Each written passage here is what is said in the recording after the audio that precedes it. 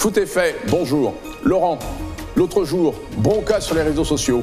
Un métro a demandé à des Guadeloupéens ce qu'il faisait sur sa plage. En fait, une plage connexe d'une résidence de Saint-François dont il est l'un des propriétaires.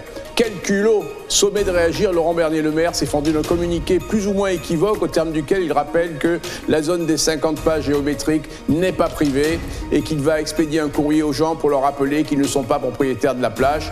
On sent qu'il marche sur des œufs, d'autant qu'avant 1986, il aurait signé un permis de construire en faveur de ces gens-là et c'était sur les 50 pages géométriques. Depuis, eh bien, il y a eu donc euh, une descente des Guadeloupéens sur cette plage, et là, on ne sait pas trop ce qui va se passer, euh, si euh, chaque fin de semaine, il va y avoir même type de descente jusqu'à ce que tout revienne en ordre et les idées dans, dans le bon sens dans les, dans les têtes, mais enfin bon, à suivre. Gugus dans le même ordre d'idées, il m'est revenu aux oreilles que certaines agences immobilières réservaient leurs meilleures affaires pour des concitoyens demeurant dans l'Hexagone, se montrant tracassières quand des Guadeloupéens veulent acheter un bien ou faisant le tour de leurs amis avant de mettre l'affaire sur le marché.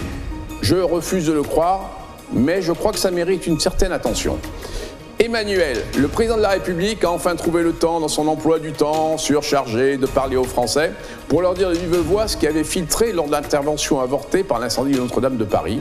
Rien de bien saillant, quelques paillettes pour plaire aux uns et aux autres. On dirait que ce discours a été fait pour satisfaire, et mal en plus, diverses catégories de Français qui grognent en ce moment.